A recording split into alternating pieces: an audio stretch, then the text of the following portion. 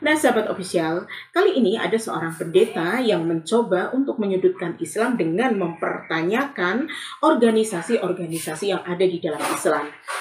Ibu ini membantahnya dengan argumen yang luar biasa. Dan karena hal itu pun akhirnya si ibu ini juga uh, membongkar habis-habisan hingga ke akar-akarnya tentang minusnya dari ajaran kekristenan. Mari kita simak bersama-sama ya video seru berikut ini bahwa Sunni dan Syiah uh, Sunni itu bukan Islam. Tapi di sisi Sunni ataupun Syiah itu sama-sama mengatakan Islam. Jadi Islam yang sebenarnya itu yang mana gitu. Terus kenapa pertanyaan mendasarnya kenapa bisa di Indonesia itu berbagai sekte yang berbeda pemahamannya masing-masing. Mulai dari tata ibadahnya, tata penguburan jenazah atau dan sebagainya begitu. Terus pertanyaan kedua saya kenapa bisa di Indonesia itu berbagai aliran dan komunitas Islam? Aliran apa? Seperti apa bang? Sebutkan ada dulu ada NU ada Muhammadiyah ada itu organisasi bang bukan aliran bang beda. Aliran nah, dengan organisasi beda. Yang membedakannya apa gitu? Tapi itu di dal dalam realita dalam uh, masyarakat terbuka itu saling bertentangan malah Siap, tunjukkan sama saya Muhammadiyah dengan NU berbeda, Bang.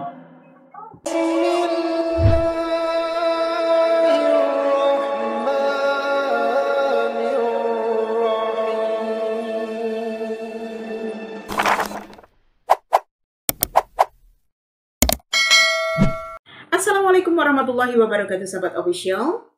Menuntut ilmu adalah sebuah kewajiban sebagaimana sabda Nabi Talabul ilmi faridatun ala kulli muslimin.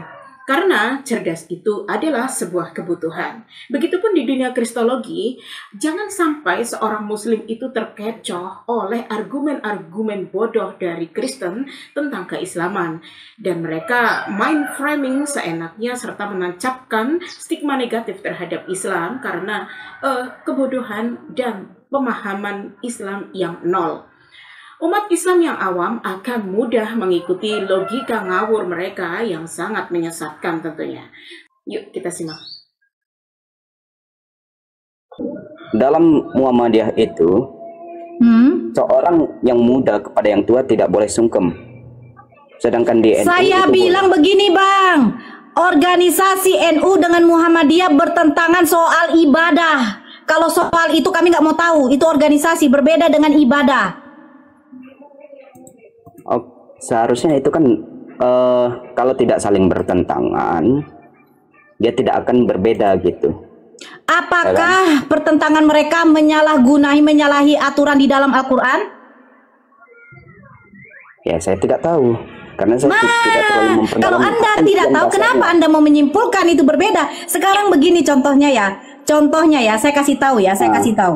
Nah, saya kasih tahu contoh sama Anda. Ya, ketika di dalam Islam di dalam Islam ya itu maksudnya begini hmm. saya orang Batak Islam nah mungkin hmm. uh, Bang Faruk orang Jawa ketika melakukan ritual perkawinan pernikahan itu ada ritual-ritualnya nah kalau hmm. itu tidak menyangkut soal Al-Quran tidak dipermasalahkan tidak menentang di dalam Al-Quran tidak dipermasalahkan tapi coba tanya sama saya dengan Bang Faruk yang Jawa dengan yang Batak Siapa Tuhanmu? Hmm. Saya jawab Allah. Bang Faru akan jawab Allah. Bagaimana ibadah kamu? Sholat di dalam subuh berapa rakaat? NU menjawab dua. Muhammadiyah menjawab apa? Dua. Zuhur empat. NU jawab apa? Empat. Asar empat. Maghrib tiga. Isya empat.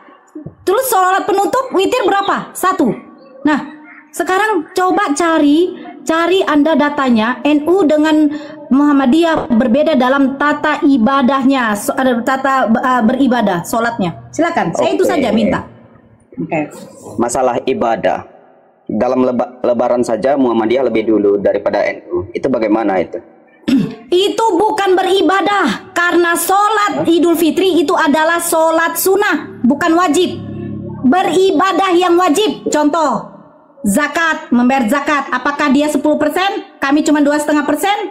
Ketika berpuasa, apakah mereka tidak berpuasa? Apakah berpuasa kami berbeda bulan? Contoh tahun ini, kami berpuasa di bulan berapa tuh? bulan 3, bulan 3 berpuasa atau bulan 4. Bulan 4 berpuasa, apakah mereka berpuasa di bulan 2? Terus mengucapkan kalimat syahadat, apakah mereka berbeda? Rukun Islam Muhammadiyah dengan rukun Islam NU itu sama, Bro. Sama. Sholatnya apakah me, me, me, membelakangi kiblat? Tidak. Apakah sholat subuh Muhammadiyah itu jam 5 eh, jam 4 pagi atau jam 3? Tidak. Makanya saya minta kau cari dulu NU dengan Muhammadiyah bercara beribadahnya berbeda. Satu rokaat saja mungkin yang ditambahkan oleh mereka atau dikurangi. Kau cari. Nah, sahabat official, hampir semua Kristen tidak mengetahui ajaran Islam, bahkan pendeta sekalipun, mereka masih mengira bahwasanya NU atau Nahdlatul Ulama dan Muhammadiyah adalah sebuah agama. Lalu mereka ingin menyudutkan Islam dengan berkata-kata yang bermaksud untuk mengadu domba umat Islam. Nah, uh, mereka berkata bertanya mana di antara keduanya yang masuk surga dan mana di antara keduanya yang sesat atau masuk neraka mana yang benar dan mana yang salah dari antara NU dan Muhammadiyah. Nah, sahabat official, uh, kalian pastinya juga mampu untuk menjawab pertanyaan mudah ini, bukan? Dan, tapi justru pertanyaan ini dijawab oleh mantan pendeta yang satu ini, dan malah beliau juga sekaligus membongkar semua uh, sisi minus dari kekristenan sampai ke akar-akarnya sehingga beberapa jemaat yang hadir di situ pastinya tergoncang imannya dan sadar akan perkataan si mantan pendeta wanita satu ini. Coba kalian dengarkan ya sahabat official. Makanya saya bilang sama dia, apa perbedaannya? Jangan suka di sini mengadu domba. Nah, saya kasih sedikit ya lawan ya.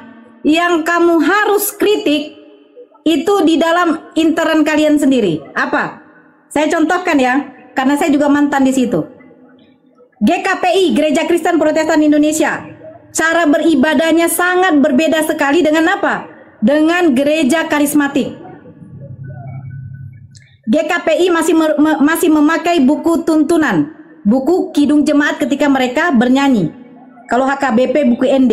Nah, kalau gereja karismatik tidak memakai buku apa pun, mereka langsung dari nyanyian-nyanyian umum. Seperti itu. Cara beribadahnya juga berbeda. Kalau GK kalau karismatik itu biasanya terkadang ada yang namanya bahasa roh. Cara beribadahnya berbeda. Ortodok, ortodok berbeda juga cara beribadahnya. Mereka memakai tudung. Ya, Katolik berbeda juga cara beribadahnya. Nah, sekarang saya jelaskan kalau menurut secara denom. Denom atau sekte, aliran kalian. Oneness. Oneness selalu membidat-bidatkan Tritunggal. Tritunggal, Tritunggal membidat-bidatkan orang yang saksi Jehova ataupun Unitarian. Oneness mempercayai Yesus itu adalah Allah Bapa, Yesus itu adalah Yehua, Yesus itu adalah Yosefave. Sementara Tritunggal mempercayai Allah Bapa, Allah Anak dan Allah Roh Kudus. Sementara Unitarian mereka meyakini bahwa Yesus itu adalah utusan dan Tuhannya Yesus atau Allah Bapa itulah baru Tuhan yang sesungguhnya. Apakah kalian sudah satu Tuhan di sini? Tidak. Kita, diam dulu. Diam dulu. Prof, Hmm. Kau diam dulu, Prof. Nah, di roomnya si Billy, di roomnya manusia setengah Indomie, di roomnya FYP, itu selalu membu mem mempersilahkan antara oneness dengan Tritunggal saling ribut di situ, cakar-cakaran. Bahkan Billy sendiri, Billy Lin itu selalu membidat-bidatkan Tritunggal, mengatakan itu adalah ajaran sesat, ajaran babi katanya. Terus Mikana bagaimana? Apakah kalian setuju Mika, dengan Mikana yang mengatakan Yesus itu adalah Allah? Allah Bapa itu tidak ada? Itu sekarang. Jangan kalian komplain dengan kami yang hanya organisasi, tetapi ibadah tata ibadah cara kami itu sama. Rukun Islam kami lima, rukun iman kami enam, syahadat kami sama. Kami mengikuti apa yang ada terkaji di dalam Al-Quran dengan hadis. Eh, betul sekali ya sahabat ofisial. Pria yang uh, seorang pendeta ini tidak bisa menunjukkan perbedaan akidah antara organisasi NU dan Muhammadiyah. Malah justru si ibu ini, si mantan pendeta ini malah menunjukkan semua perbedaan akidah dari umat Kristen. Mulai dari Katolik, Protestan, Ortodoks, Saksi Jehovah, Oneness, pokoknya lengkap deh. Sudah dia bongkar semuanya, di mana Hal itu membuat pendeta terdiam seribu bahasa.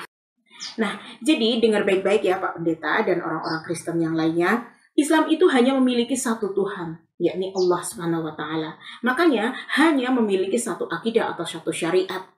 dan dogmanya adalah Al-Quran dan hadis sebagai panduan dan pedoman hidup umat Islam. Al-Quran adalah firman Allah dan hadis adalah suri tauladan dari Nabi Shallallahu Alaihi Wasallam. Kedua hal ini merupakan inti dari ajaran Islam yang kalian tidak miliki tentunya. Musa terima dua Taurat di Gunung Sinai. Yang pertama Taurat tertulis, Taurat Sebiktab. Ini dia tulis. Jadi lima kitab Musa, kejadian, keluaran, ulangan, bilangan Muhammad. Ini yang di kanon oleh saudara-saudara Kristen. Waktu mereka bikin Alkitab Kristen, mereka mengkanon agama kitab suci agama Yahudi jadi Alkitab Kristen. Makanya Yahudi dan Kristen kitabnya sama. Tapi isinya bukan buat mereka. Makanya orang Kristen boleh makan babi. Karena mereka mengkanon ini hanya untuk kitab sejarah. Nah, para pendeta dan jemaatnya, kalian sudah mendengar sendiri bukan bahwasanya kalian punya kitab tapi hasil dari karangan manusia punya suri tauladan yakni Nabi Yesus yang asli malah dibunuh. Yang datang mengajarkan agama kepada kalian malah Nabi palsu Paulus yang kalian ikuti. Terbitan dari kitabnya malah dari Roma bukan Israel ya. Dan parahnya lagi Tuhan kalian adalah hasil dari perundingan konsili di Nisea. Jadi sampai kapan kalian akan terbodohi? Kami berharap agar kalian sadar Berpikirlah dan jadilah orang yang waras dan cerdas bahwa kalian sudah kalah telak. اللهم إني أسألك بأني أشهد أنك أنت الله. لا إله إلا أنت أنت الأحد الصمد. لم يلد ولم يولد ولم يكن له كفوا أحد.